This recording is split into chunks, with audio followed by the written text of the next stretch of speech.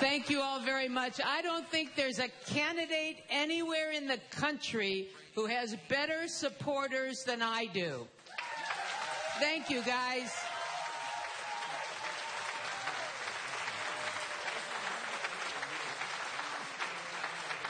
Thank you all so much for sticking with me throughout this campaign.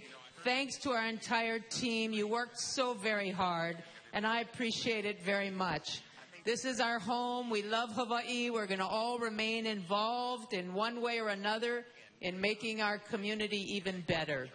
I tried to call Congresswoman Hirono. We couldn't get through right now, but I know all of you join me in wishing her all the very best in representing us in Washington, D.C.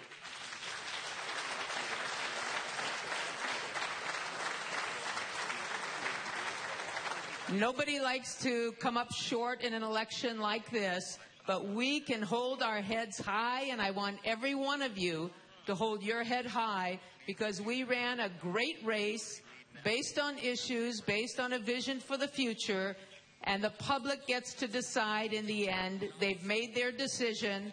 We appreciate them considering me in this election.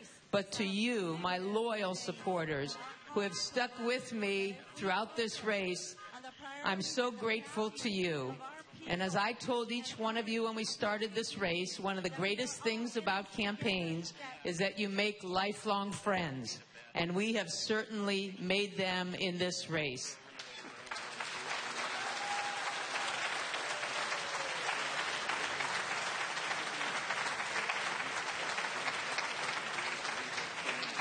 To the people all across the state, those who have helped us on every island, I want to say thank you for all the sacrifices you made for me in this race.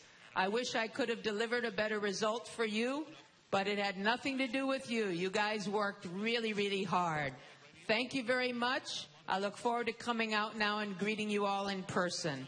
Thanks for your support, everybody. Aloha.